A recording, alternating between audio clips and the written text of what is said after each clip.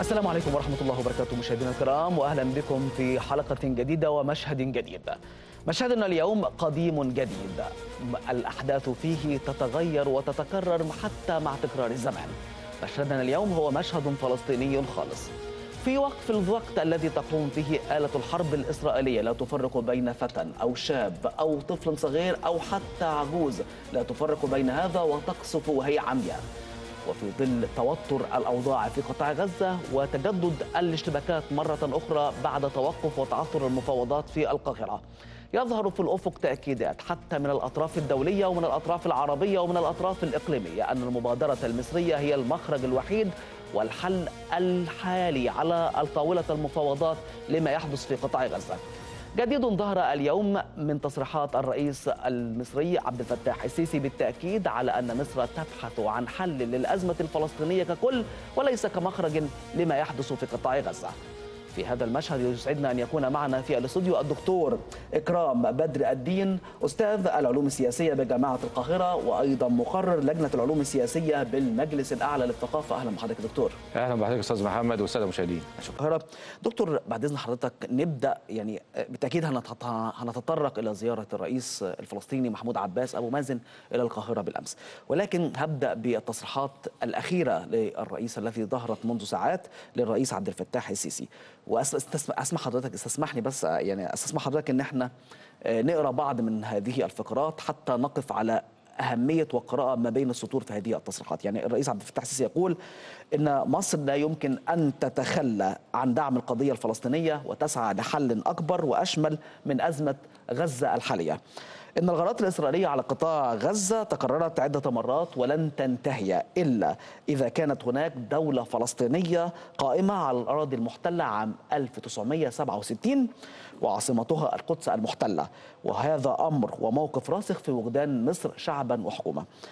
أخيرا أشار إلى أن رغم الألم عن كل شهيد وجريح وكل بيت تم هدمه في غزة إلا أن ما نسعى إليه من تهدئة الآن لابد أن يكون انطلاقه حل أشمل للقضية الفلسطينية. يتجاوز مفهوم إعادة إعمار ما خربته آلة الحرب الإسرائيلية أو آلة الحرب إلى مفهوم الدخول في مفاوضات الحل الشامل والنهائي. يعني إحنا أمام موقف حتى هذه اللحظة لا ي... لم تستطع المبادرة المصرية ولم تستطع الجهود إيقاف ما يحدث في قطاع غزة. كيف يمكن أن ننطلق من وضع لم يتم إيقافه بعد في قطاع غزة إلى حل أشمل وأعمق لمفهوم القضية الفلسطينية؟ آه يعني هو شوف حضرتك اللي بيحصل في غزة النهاردة أو اللي بيحصل في غزة من اعتداء إسرائيلي من شهر ونص ليست هي المرة الأولى. صحيح. يعني لو تشوف حضرتك تلاقي سنة 2008 أواخر 2008 وبداية 2009 كان في غزو من هذا القبيل. وكان أشرس من الحل. آه. وكان وسقط جرحى وقتل وتهدمت المساكن. في 2012 حدثت نفس العملية. عملية اسمها الرصاص المصبوب. تمام. آه في 2014 من شهر ونص أيضا في عدوان إسرائيلي على غزة. والعدوان ده بيتسع نطاقه من فترة إلى أخرى واحيانا يبقى بري وجوي وبحري إضافة إلى الحصار. اذا لابد من الوصول إلى حل وأن يكون هذا الحل شامل. يعني لا يتعلق بغزة فقط. حتى يعني نقطع هذه الحلقة المفرغة. إحنا عايزين نتخلص من هذه الحلقة المفرغة. مش كل كام سنة مش كل سنتين ثلاثة هيبقى في عدوان إسرائيلي وفي تحطيم لغزة وفي تهديم وفي شهداء يسقطوا أعداد كبيرة والدول تتدخل وإعادة الإعمار. وبعدين نبدأ أيضا السير في هذه الحلقة المفرغة. إذا إحنا عشان نتخلص من هذه الحلقة المفرغة بيتطلب الأمر أن نبحث عن حل شامل. حل شامل ليس لغزة فقط. ما أقصده بالحل الشامل. ليس لغزة فقط وإنما للفلسطينيين جميعا. ما فيش تفرقة بين غزة ورام الله و... هل ينطلق الحل من بدايته وقف ما يحدث من عدوان على قطاع غزة أم. تبدأ تنطلق المفاوضات ونترك ما يحدث في قطاع غزة وتبدأ المفاوضات ويجلس الأطراف على مائدة التفاوض؟ هل يمكن أن يكون هذا التصور؟ يعني هو لكي نصل إلى حل في أي أزمة سياسية. وفي أي أزمة عسكرية عشان نصل إلى حل لابد نقطة البدء إيقاف إطلاق النار. دي نقطة البداية.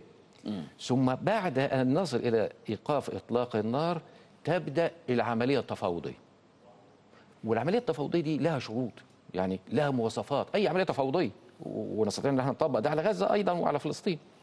يعني العملية التفاوضية هي بين طرفين. ويجب ألا تكون يعني لو استخدمنا المصطلحات السياسية شوية ألا تكون العملية التفاوضية ذات حصيلة صفرية. يعني إيه ذات حصيلة صفرية؟ يعني ما ينفعش إن طرفين بيتفاوضوا فطرف ياخد 100% من المكاسب والطرف الآخر ياخد صفر من المكاسب. ما ينفعش. ما يبقاش تفاوض ولن تنجح. آه العملية التفاوضية الحقيقية الناجحة يفترض فيها أن يحقق الطرفين المتفاوضين مكاسب. المكاسب دي بت- بترتبط إلى حد كبير بمطالب كل طرف. فإحنا دلوقتي عندنا طرفين الطرف الفلسطيني والطرف الإسرائيلي. ما هي مطالب وتخوفات كل طرف؟ وهذا ما يجب أن يؤخذ في العملية التفاوضية. إسرائيل لو بدأنا بإسرائيل إسرائيل عندها هاجس دايما منذ قيامها في سنة 48 الهاجس الأمني. الهاجس الأمني بمعنى إن إسرائيل تبالغ في تأثير أي عمل عدائي ضدها وتبالغ أيضا في رد الفعل للرد على هذا العمل يعني لما يختطف جندي اسرائيلي لما يطلق صاروخ آه، على المناطق حتى لو كانت مناطق غير أهلة بالسكان ولن يسبب أضرار لن يتسبب في أضرار. إنما آه، إسرائيل عندها هذا الهاجس. وبالتالي إحنا يعني نتخوف يعني نتفهم هذه المخاوف الإسرائيلية طب والطرف الفلسطيني على الجانب الآخر؟ عنده مطالبه وعنده مخاوفه. وأول هذه المطالب إن لا ينزع السلاح دون تم. يعني إسرائيل بتقول طب إحنا ننزع سلاح المقاومه طب السؤال ما الثمن الفلسطينيين بس لديهم أعتقد إن ال- ال- الفلسطينيين رافضين حتى الحديث في هذا الأمر. يعني الفصائل الفلسطينية ولا يستطيع إن في قوة موجودة على الأرض تستطيع أن تنزع سلاح المقاومة الفلسطينية الموجودة. آه يعني نزع السلاح ليس بالضرورة أن يكون بالمعنى الحرفي يعني أن يتم لم السلاح اللي عندهم والقضاء. إنما ألا يمثل تهديد. يعني وجهة النظر الاسرائيليه هنا إن هذا السلاح لا يمثل تهديد لإسرائيل. وأيضا الأنفاق اللي موجود لا تمثل تهديد في عمليات ضد آه، آه، إسرائيل. طيب. إنما هنا أيضا إحنا لازم نتفهم وجهة النظر الفلسطينية. يعني وجهة النظر الفلسطينية إن إسرائيل أيضا لابد أن يكون عليها ضوابط. يعني إحنا بنشهد في حالات متكررة إن إسرائيل بتعتدي وتقوم باعتقال أفراد أو قتل أفراد وكده دون أن يكون هناك رد فعل المجتمع الدولي فده اللي بيخلي نرجع مرة أخرى إلى رد الفعل الفلسطيني وتصاعد رد الفعل الإسرائيلي. إذا العملية التفاوضية هنا بتتطلب أن يكون هناك طمأنة للطرفين. الفلسطينيين متخوفين من الحصار. إحنا بقالنا بقالنا سبع سنين محاصرين. لابد أن ننهي هذا الحصار.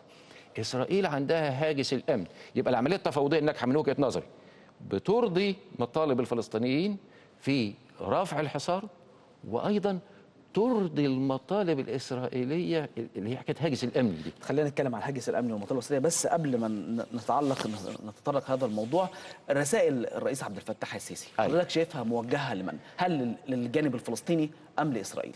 آه، يعني هي موجهة لكافة الأطراف لو لو- نشوف حضرتك الثلاث حاجات اللي حضرتك قلتهم لسه حالا دلوقتي آه. آه، أول عامل إن مصر لا يمكن أن تتخلى عن القضية الفلسطينية وده أمر آه، صحيح وأمر متبع في السياسة المصرية من سنة 48 حتى الآن.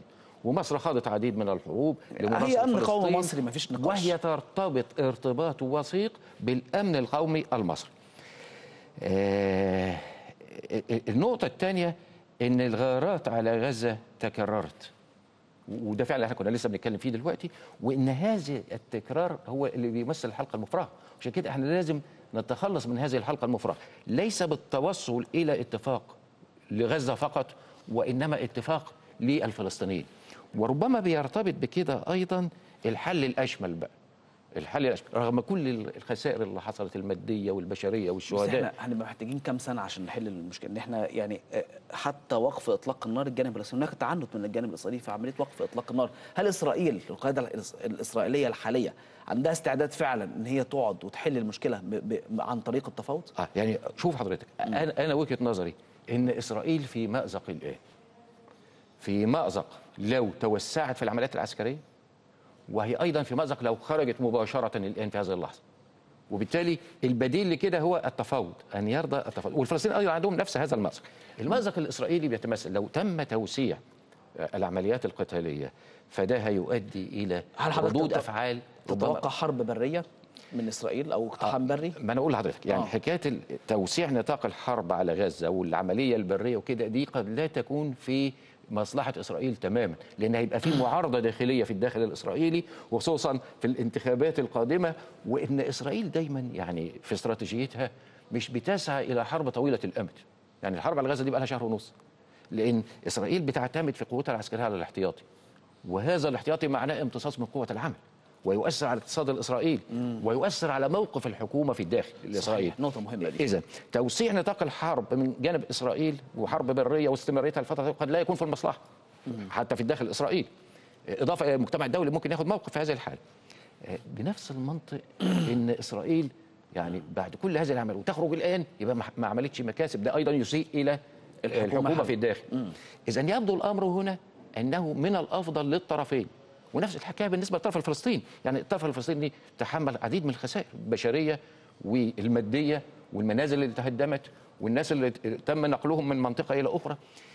وده بيرجع في رأيي إلى نوع من التصلب والعناد. يعني المبادرة المصرية في الأول لما طرحت كان يمكن عدد الشهداء الفلسطينيين وصل حوالي 200 160 200 أو آه 200 يعني صحيح. يقترب من 200 صحيح. دلوقتي إحنا تجاوزنا ال 2000 وبالتالي أيضا يعني هنا آه، أنا من وجهة نظري ده خطأ. استراتيجي ربما وقع في حماس بالذات. إن كان من الأفضل قبول المبادره المصرية منذ البداية لأن ده استغلته إسرائيل سياسيا في, في, المجتمع الدولي. يعني إسرائيل أعلنت قبولها للمبادرة المصرية في البداية. أحرجت الجانب الفلسطيني. آه، و- والفلسطينيين رفضوا اذا يبدو الأمر أمام المجتمع الدولي إن الصورة تختلف عن الواقع. وتحاول إسرائيل أن تروج ذلك وتدعي إنها تدافع عن نفسها. هي هي قبلت ولكن الطرف الآخر لم يقبل. فهو ده. يعني استخدام إسرائيل وده بالمناسبة مش في هذه المرة فقط إنما من سنة 48 حتى الآن. مين اللي يجبر إسرائيل على أن هي تنهي ما يحدث في قطاع غزة؟ هل هو ربما آه، مزيد من التصعيد؟ يعني حتى هذه اللحظة كان ربما قبل قبل الدخول في التفاوض ال- الوفد الفلسطيني يصل في القاهرة كانت حماس والفصائل الفلسطينية يتحدثون عن مفاجآت في هذه اللحظات آه، آه، ربما لم نحدث أي آه، رد فعل قوي يرغم إسرائيل على أن هي تفكر ترجع مرة أخرى لم- لمائدة المفاوضات. هل ما سيرغم إسرائيل هو المأزق الذي ربما هي محطوطة فيه زي ما حضرتك قلت ولا رد فعل قوي من جانب حماس أو مفاجأة من جانب الفصائل الفلسطينية؟ صاروخ يصل إلى قلب تل أبيب صاروخ يصل إلى هذا أو ذاك. حضرتك شايف إيه اللي يجبر إسرائيل إن هي ترجع مرة أخرى تقول نقعد ونتفاوض والمبادرة المصرية نمشي على في أطر الإطار المبادرة المصرية؟ آه ما هو هو شوف حضرتك هي السياسة في النهاية هي فن الممكن. يعني ليس الأمر بالتحمس الشديد أو شيء من هذا القبيل وإنما ما هي إمكانيات كل طرف. آه، الإمكانيات غير متكافئة بين الفلسطينيين وبين الاله العسكرية الإسرائيلية لا يوجد تكافؤ. صحيح. وبالتالي يعني أنا من وجهة نظري إن صانع القرار الفلسطيني إيه، لابد أن يأخذ في الاعتبار سواء يعني في حماس وفي غيره والسلطه الفلسطينية كلها ككل لابد أن تؤخذ في الاعتبار هذه العوامل. إيه، إن المجابهة المسلحة ليست في مصلحة الفلسطينيين. إيه، نظرا لعدم التكافؤ. وبالتالي ربما يكون من المرغوب فيه العودة إلى المبادرة المصرية ودي بتحقق مصلحة من وجهة نظري للطرفين المتفاوضين. وأيضا المجتمع الدولي لابد أن يكون له دور وأن يتخلى عن فكرة المعايير المزدوجة. يعني إحنا بنشوف إيه اللي بيحصل لما يتخطف جندي إسرائيلي أو يتخطف ثلاث مستوطنين أو شيء من هذا القبيل. وبينما لا يحدث ذلك عندما يتم تهديم آه، منازل الفلسطينيين إحنا ما بناخدش رد فعل قوي كدول عربية ما بناخدش رد فعل قوي تجاه المجتمع الدولي عشان نيجي نقول له انت بت- بتعمل بمعايير مزدوجه ما فيش موقف عربي قوي يتم اتخاذه هو ده المطلوب. آه. المطلوب أن يكون هناك موقف عربي قوي سياسي ودبلوماسي في إطار الجامعة العربية لأن دي قضية بتهم العرب كلهم. يعني القضية ليست قضية غزة فقط وليست قضية الفلسطينيين فقط بل هي قضية العرب جميعا. وإذا لم يكن للعرب موقف موحد قوي آه، ففي هذه الحالة تأثيرهم هيبقى محدود. صحيح. والفلسطينيين يعني بالمناسبة أيضا الفلسطينيين هم الطرف الأضعف في المعادلة دي كلها رغم إنهم سبب عديد من التداعيات اللي حصلت لعدد من الدول العربية ومنها مصر. إنما يبقى الوضع إنهم الآن الطرف الأضعف وبالتالي لابد من مساندتهم عربيا من أجل الوصول إلى مثل هذا الحل. نطلع بس ال- الاتصال هاتفي مع زميلنا عمر بشير مراسل النيل في قطاع غزة. عمر بعد التحية. عمر. أهلا وسهلا آه. عمر يعني آه، بعيد عن الوضع الميداني يعني هل هناك من تصور ربما للخروج من المأزق الذي تعيشه غزة الآن العدوان الإسرائيلي المتكرر على قطاع غزة هل من تصور يتحدث عنه الشارع الفلسطيني يتحدث عنه النخبة السياسية أو الفصائل الحكومة الفلسطينية آه، في في قطاع غزة هل من تصور للخروج من هذا المأزق؟ يعني قبل الحديث عن التصور يعني يعني أوضح فقط لضيفك العزيز أنه عندما طرحت المبادره عمر؟ نعم هل تسمعني؟ ثواني آه يعني نعم. آه آه تمام تمام تمام آه آه، هو آه هو بيوجه الحديث لحضرتك لو حضرتك تحب تسمع ال- الكلام. اتفضل يا عمر. أريد أن أوضح فقط أنه عدد الشهداء منذ آه، منذ أن طرحت المبادرة المصرية في بداية العدوان لم يتجاوز ال 120 شهيد على الأكثر إذا ما أضيف إليهم عدد من الشهداء الذين تم انتشالهم من تحت الأنقاض يعني أقل بكثير من 200 شهيد كما أوضح ضيفك لا هو. بنتكلم في والآن 160 أو في في في آه في الرقم يعني لا اختلاف عن الرقم يا عمر ما ما, ما جعلني يعني بهذا الرقم أن هذا أيضا هو حديث الشارع الفلسطيني يعني. عندما عندما تم التوصل إلى أول هدنة لوقف إطلاق النار ثم العودة إلى القاهرة للدخول في مفاوضات وتجديد حالة وقف إطلاق النار هنا بدأ الشارع الفلسطيني يتساءل. يعني هذا ما طرح في بداية العدوان. لماذا كل هذا التأخير في هذا الطرح وت- وتدفع فاتورة عالية من الدم ومن الدمار؟ أيضا الدمار ليس بسيط في قطاع غزة. ثلث مدينة غزة تقريبا دمرت. ثلث قطاع غزة تحديدا. نعم. على أي حال هذا هو واقع الحال الآن. نتحدث عن أكثر من 2110 من الشهداء. السياسي يعني لا أحد يعرف ما يدور في القاهرة. الوفد يخرج بتصريحات متناقضة عندما كان موجودا في القاهرة. ثم غادر الوفد. الرئيس محمود عباس كان في القاهرة. غادر اليوم ويقال أنه سيكون هناك مفاجأة في الأيام القادمة. المشكلة التي يعيشها المواطن الفلسطيني اعوذ من عمر المقاطعة. مفاجأة من جانب الفصائل الفلسطينية. من تحدث عن مفاجأة؟ مفاجأة سياسية يعني آه. الكلام نقلا عن مصادر فلسطينية أن الرئيس محمود عباس يعني هي ستكون في في في هذا الأسبوع. لكن ال- المشكلة أن ال- المواطن الفلسطيني في غزة يحسب الوقت بالثواني بينما ال- ال- المفاوض ال- ال- الفلسطيني أو أيضا ال- الإسرائيلي وهو أقل ضغطا من من الشعب الفلسطيني هنا في غزة يحسبه بالأيام وبالساعات، هنا تكمن المشكلة. في كل لحظة هناك شهداء وهناك دمار، بالتالي لا يوجد الآن الجميع ينتظر أفق سياسي لحل هذه المشكلة لكن للأسف في قطاع غزة إلى الآن لا يوجد أي أفق سياسي. حتى المحللين حتى أصحاب الرأي عندما نحاول أن نتواصل معهم ونأخذ تحليلاتهم هم أيضا في حالة من التناقض لأن الموضوع زاد عن حده المتوقع بأكثر من كثير من عشرة أيام. كان من المفترض وفق رأي المحللين بناء عن أن الوضع لم يتغير من عدوان إسرائيل ومن صمود المقاومة الفلسطينية وإطلاق الصواريخ لماذا لم يتم الوصول إلى حل قبل أيام؟ الآن الأمور تتجاوز حدها وللأسف لا يوجد أيضا أي ضمانات لأفق سياسي قريب جدا في الساعات القادمة، الأمور ما زالت غامضة ولا يفهم ما ستحمله الأيام القادمة. نعم عمر هل استهداف قادة حماس من جانب آه، آه، القوات الإسرائيلية هل من الممكن أن يجعل الفصائل الفلسطينية ربما آه، ترفض ولو مبدئيا العودة مرة أخرى إلى التفاوض أم أنها لديها حتى هذه اللحظة الرغبة في العودة إلى ال- التفاوض وإرسال الوفد مرة أخرى إلى مصر لإيجاد مخرج لما يحدث هو يعني بات واضحا من التجارب السابقة والاعتداءات القديمة على قطاع غزة. أن المقاومة أيضا عندما تفقد قادة فهي يعني لديها ذخيرة من القادة يكونوا قادمين وأيضا في موضوع العدم العودة إلى التفاوض المقاومه كانت واضحة أنها منفتحة على أي مفاوضات تحقق المطالب الفلسطينية ولا تعتبر دماء القادة أكثر أهمية من دماء باقي الشهداء. فتعتبرهم جميعهم سواء والآن هي يعني تسعى إلى حاله لوقف إطلاق النار أو حل نهائي للأزمة في قطاع غزة وهو المطلوب فلسطينيا ولكن بالنهاية وفق المطالب الفلسطينية خاصة وأن الفاتورة أصبحت مرتفعة جدا من الدم الفلسطيني ومن الدمار. لا يمكن أن يكون آه، وقف العدوان فقط هو الحل أو أو رفع الحصار بالمعنى الشكلي كما تريده إسرائيل. بالتالي ستكون المقاومة أمام موقف حرج أمام الشعب الفلسطيني إذا لم تحصل على مطالب رئيسية مع مع فاتورة الدم المرتفعة التي قدمها المواطن الفلسطيني، هذا أعنف عدوان يعيشه قطاع غزة. في العام 2008 2009 العدوان لم يتجاوز 21 يوما، عدوان 2012 ثمانية أيام ودمار كبير، اليوم نقترب من اليوم الخمسين. يعني فترة زمنية طويلة وحياة متوقفة، ال- المدارس عادت في الضفة الغربية ولم يستنف العام الدراسي في قطاع غزة. بالتالي هناك أيضا أزمات قادمة سيعيشها القطاع ولابد أن يشعر المواطن في غزة تحديدا بأن هناك حل بعد هذا الدم الكبير. نعم. توافق مع حجم التضحية. عمر سريعا هل المواطن في قطاع غزة ينتظر مفاجآت ربما من الفصائل الفلسطينية تعيد ربما آلة الرعب ما بين الفصائل من جهة والإسرائيليين من جهة أخرى؟ توازن الرعب عذرا عمر.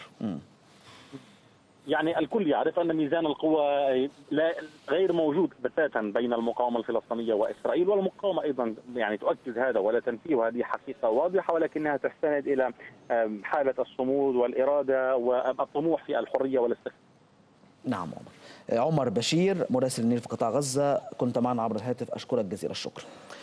يعني هناك حديث عن مبادرة أوروبية لاستصدار قرار من مجلس الأمن لوقف إطلاق النار. أيوة. هل هذا لو خرج قرار من مجلس الأمن لوقف إطلاق النار هل هو إحراج للجانب المصري؟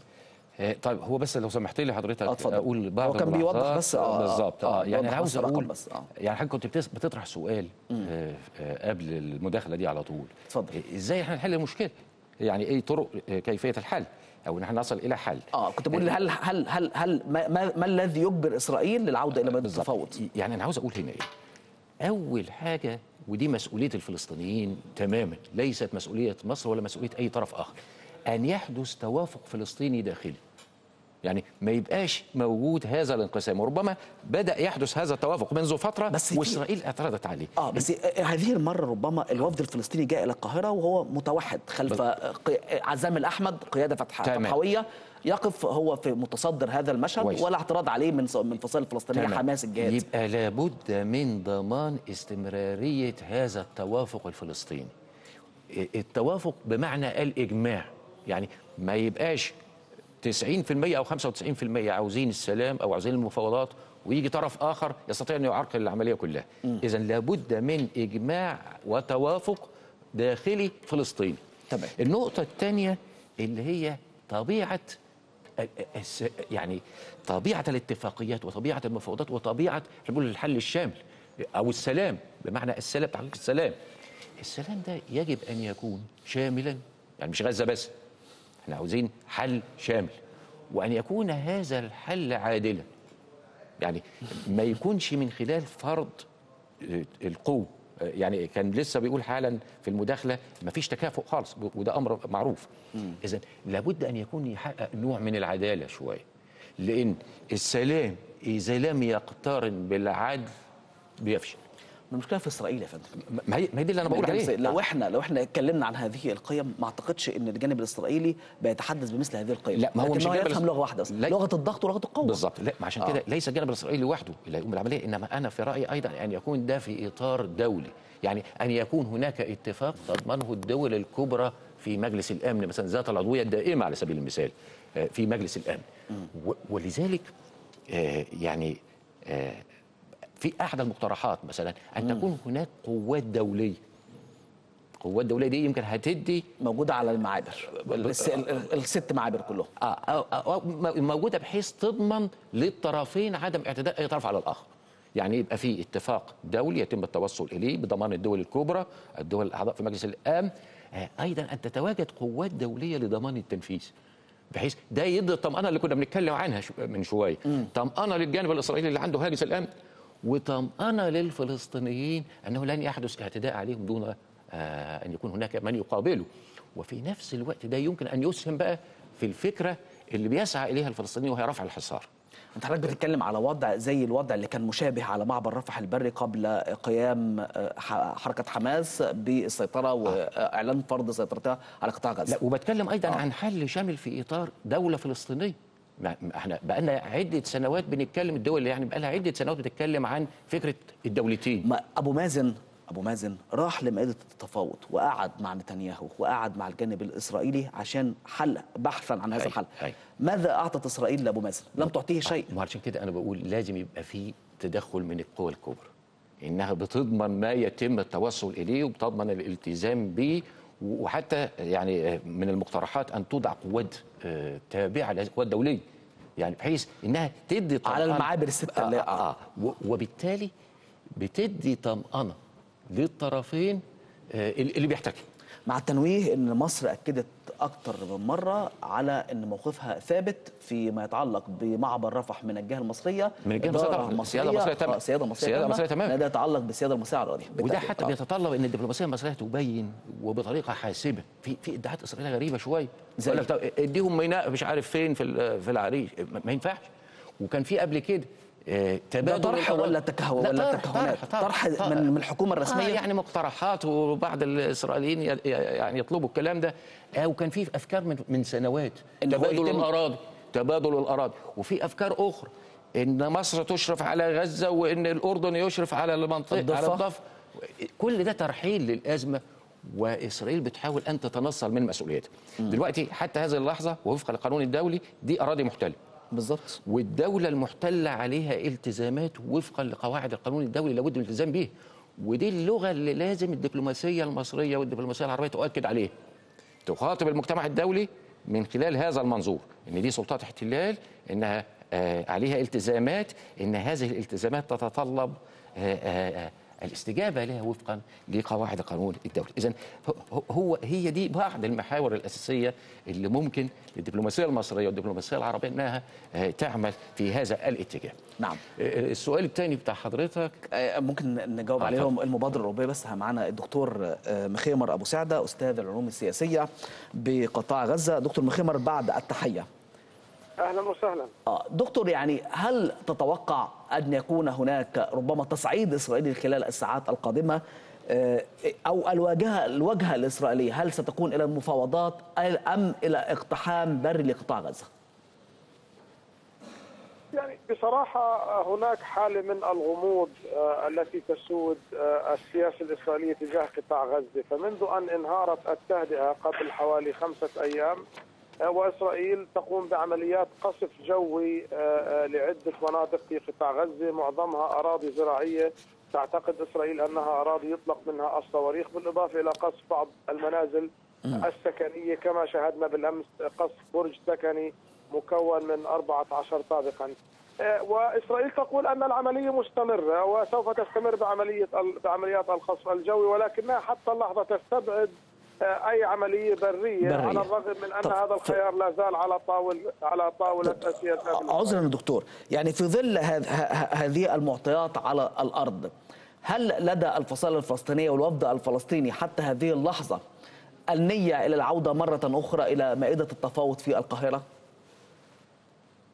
وفي نهاية الأمر آه، حتى لو استمرت هذه الحرب لشهور أو سنوات آه، آه، أي حرب في نهاية الأمر تنتهي بمفاوضات صحيح. مباشرة أو مفاوضات غير مباشرة وحسب ما تحدث به الرئيس الفلسطيني محمود عباس بالأمس قال بأن مصر سوف تدعو من جديد الوفدين الفلسطيني والوفد الإسرائيلي إلى القاهرة مجددا من أجل البحث في اتفاق وقف إطلاق نار دائم ونهائي يبدو أن مصر آه، تقوم في هذا في هذه اللحظات ب آه، آه، يعني آه، باستمزاج آه، الطرفين الفلسطيني والإسرائيلي لمعرفة إمكانية العودة إلى طاوله المفاوضات وإن كانت الشروط هي كما هي أو صار هناك تعديل وتغيير على شروط كل طرف من الطرفين. دكتور مخيبر يعني سريعا ما تحدث الرئيس الفلسطيني مثلما آه، قال زميلي عمر بشير منذ قليل عن مفاجأة خلال هذا الأسبوع حضرتك شايف ه- هذه المفاجأة من أي نوع؟ ممكن يتحدث عنها الرئيس الفلسطيني في ظل الوضع ربما القاتم بالنسبة للمتابعين لما يحدث في قطاع غزة.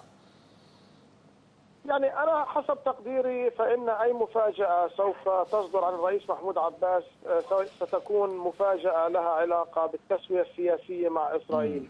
آه، هذه التسوية قد تكون هذه المفاجأة بقبول حركة حماس آه، مبادرة السلام العربية التي أطلقت في العام 2002 وتبناها آه، تبنتها الجامعة العربية في ذلك الوقت. آه، قد يكون هناك آه، مفاج يعني آه، شيء له علاقة بالعودة إلى طاولة المفاوضات مع إسرائيل آه، وبحث قضايا الحل النهائي اللاجئين والقدس والاستيطان وبالتالي المفاجأة لها علاقة بتسوية القضية الفلسطينية والدخول في مفاوضات سياسية مع إسرائيل تؤدي إلى إنهاء الاحتلال وقيام الدولة الفلسطينية. رائع دكتور مخيمر أبو سعدة أستاذ العلوم السياسية بقطاع غزة أشكرك جزيل الشكر على هذا التحليل دكتور مخيمر يعني قبل ما نتكلم عن المفاجأة أرجع تاني سؤال حضرتك كنت بتسأل عن المشروع اللي المبادرة. الأوروبية آه. آه. لاصدار قرار من مجلس الأمن بوقف إطلاق النار في قطاع غزة أي. هل هذا القرار يمكن أن يكون احراجا للجانب المصري آه، يعني هي مصر بتسعى بجميع الطرق إلى الحل وتخفيف المعاناة التي يعاني منها الشعب الفلسطيني. آه، المشروع ده آه، مشروع مقدم لمجلس الأمن من ثلاث دول اوروبيه من ألمانيا وفرنسا وإنجلترا. تمام المشروع ده بيتضمن آه، يعني أهم البنود اللي في هذا المشروع اتفاق على إيقاف إطلاق النار ودي الخطوة اللي كنا لسه بنتكلم فيها إن أي أي كلام أزمة لابد أن تبدأ بإيقاف. بإيقاف إطلاق النار تمام البند الثاني سيطرة السلطة الفلسطينية على غزة. عشان ما يبقاش فيه هذا عودة الفساد السلطة وده اللي كانت اتحدثت عنه تسيبي ليفني وزيرة العدل الإسرائيلية قالت إن إحنا عايزين نرجع مرة تانية السلطة الفلسطينية القطاع تمام. تمام. الثالث البند الثالث إعادة إعمار غزة. تمام. الجانب الفلسطيني في رده ما عشان تنجح هذه المبادرة لازم يوافق عليها الطرفين أيضا. يعني صحيح. لازم يوافق عليها الطرف الفلسطيني والطرف الإسرائيلي.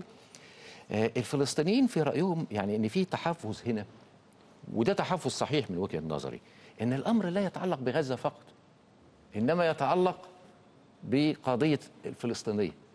وعشان كده إحنا كنا لسه بنتكلم من شوية بنقول إن الحل لابد أن يكون حلا شاملا.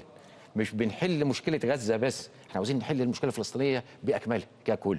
عاوزين نقيم الدولة الفلسطينية. ويمكن ده اللي تفضل آه، الدكتور وهو بيتكلم دلوقتي. دكتور مخيمر، آه. آه الدكتور مخيمر وقال إن في مفاجأة ربما بيعلنها الرئيس الفلسطيني أبو مازن إن هذه المفاجأة قد تتعلق ب قبول حماس وقبول الفصائل. قبول المبادرة بتاعه آه، الملك عبد الله آه، في 2002 لمبادرة السلام العربية اللي هي أن يكون هناك سلام بين العرب جميعا وبين إسرائيل بشرط أن تتخلى هل إسرائيل. المفاجأة أن قبول الفصائل الحديث عن قبول الفصائل لهذه المبادرة؟ آه يعني قبول الفصائل ربما المتشددة التي كانت ترفض ذلك. آه، أن تقبل هذا الحل السلمي وده و- بيبقى يبقى بداية لعمليه تفاوضيه ولأي مدى ممكن. أن يغير هذا الأمر في المعادله في المعادله الحاصله دلوقتي آه، يعني هذا الأمر إذا تم يعني آه، ده, ده افتراض ده سيناريو يعني إحنا مش عارفين هل هيحصل آه، لا، ولا لا. بتكلم آه، ممكن، آه. إنما هذا السيناريو إذا حدث آه، ربما يعيد التوازنات مرة أخرى أن هناك اتجاه نحو الحل السلمي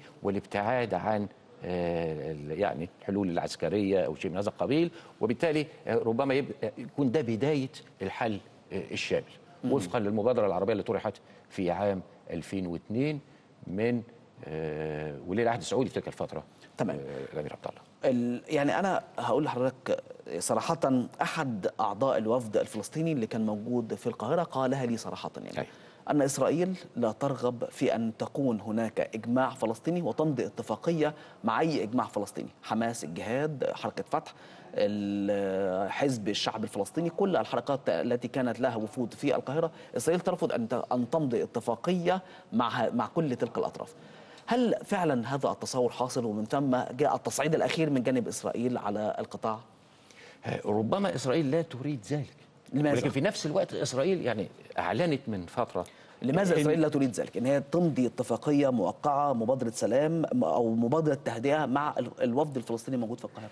يعني أنا رأيي إن هذا يجب الا يتم بين إسرائيل وهذه الفصائل فقط وإنما يت- يتم أيضا في وجود أطراف عربية أهمها مصر ويتم أيضا ربما تضمنه أطراف دولية أهمها الولايات المتحدة آه، وده هيعيد مرة أخرى الفكرة اللي كنا لسه بنتكلم فيها. ابتدينا بيها آه، المنطلق ب- العام. بالضبط. وفكرة أن تتواجد قوات دولية وأن تكون هناك ضمانات للاتفاقات التي يتم التوصل إليه لضمان التنفيذ ولضمان الالتزام.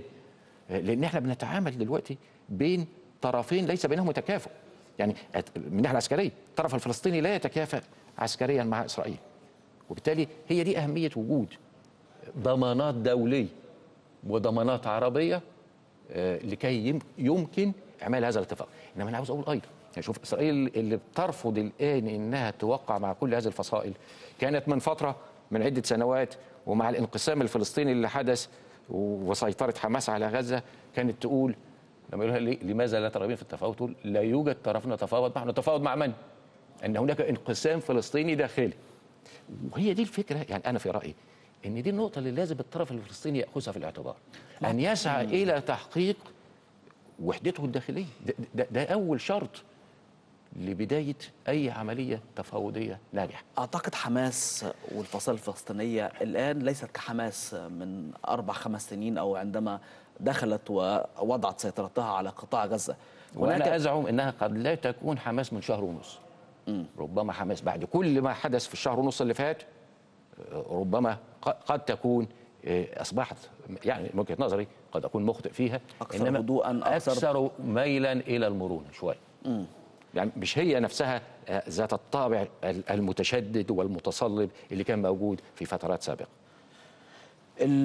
من ضمن أطر الحل اللي محطوطة في في المبادرة المصرية أو الطلبات الفلسطينية إن موضوع المينا وموضوع المطار الدولي. طبعا.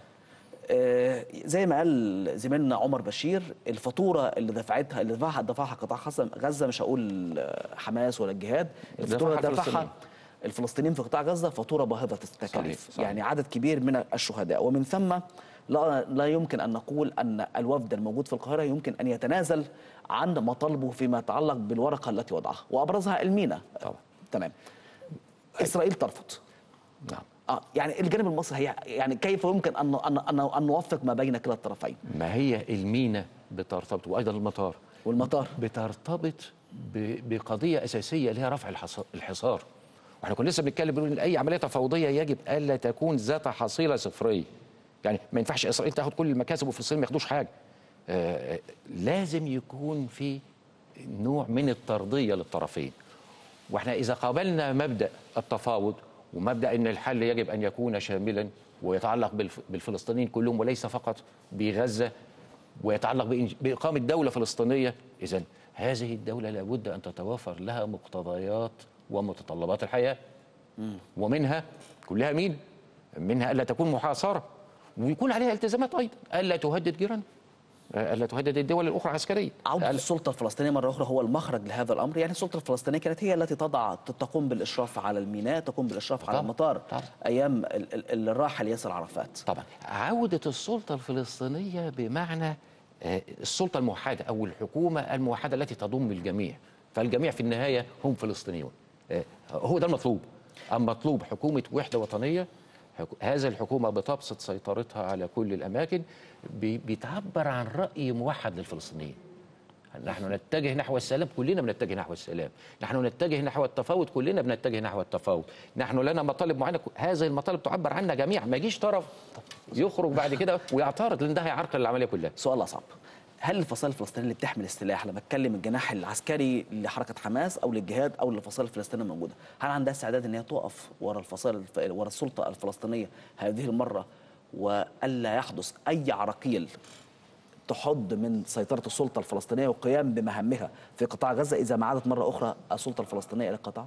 يعني أنا وجهة نظري الشخصية إذا كانت ستنظر إلى المصلحة الفلسطينية ككل فلا بد أن تقبل بذلك. المصلحة الفلسطينية تقتضي وحدة الصف الفلسطيني تقتضي وحدة العملية التفاوضية تقتضي وحدة المطالب المختلفة من الجميع.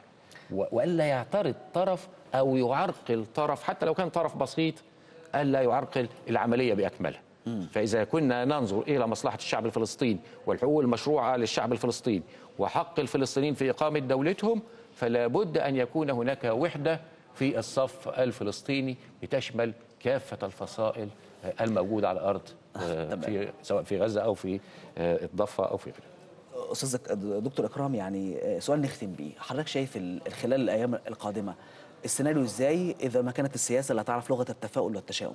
لكن شايف السيناريو إزاي خلال الفترة القادمة.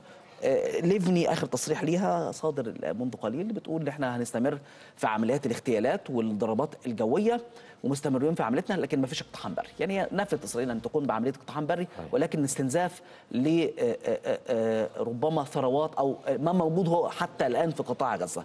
حضرتك شايف السيناريو إزاي خلال الأيام القليلة القادمة؟ يعني السيناريو في الفترة القادمة من وجهة نظري استمرارية الوضع على ما هو عليه سواء آه، تدخل عسكري بري أو لم يحدث تدخل بري واستمرت الضربات العسكرية قد لا يكون في مصلحة إسرائيل في الداخل 100% الحكومة الإسرائيلية. لأنه هيثير عليها انتقادات ودي يعني اول مرة الأمور تطول بهذه الطريقة ربما أيضا في آه، استنزاف وما حققش وما نزعش حققش سلاح أهدافه حتى ولسه كل شوية بنسمع عن الصواريخ بتطلق على الإسرائيلي. مناطق مختلفة بالظبط. في إسرائيل. اذا آه، أيضا لو خرجت إسرائيل مرة واحدة الآن قد لا يكون هذا أيضا في مصلحتها الداخلية. اذا قد يكون من وجهة نظري في الفترة القادمة سيناريو التهدئة وسيناريو إيقاف إطلاق النار ثم بدء عملية تفاوضيه شاملة. لا تشمل غزة فقط بل تشمل القضية ككل. أنا من وجهة نظري إن ده قد يكون في مصلحة للطرفين الإسرائيلي والفلسطيني وفي أيضا المصلحة العربية. مع الضمانات اللي إحنا قلناها ضمان الدول الكبرى وتدخلها وضمانها لمثل هذه الاتفاقات والا يكون الامر ثنائي فلسطيني إسرائيلي فقط لضمان التنفيذ على الأرض. طيب الدكتور إكرام بدر الدين أستاذ العلوم السياسية بجامعة القاهرة ومقرر لجنة العلوم السياسية بالمجلس الأعلى للثقافة شكرا جزيلا لحضرتك شكرا لحضرتك والسلام مشاهدينا مشاهدينا الكرام ينتهي مشهد اليوم. غدا غدا إن شاء الله يتجدد معكم مشهد آخر من المشاهد الحاصلة في العالم العربي أو حتى المشاهد العالمية. نشكر لكم حسن المتابعة ودمتم في أمان الله.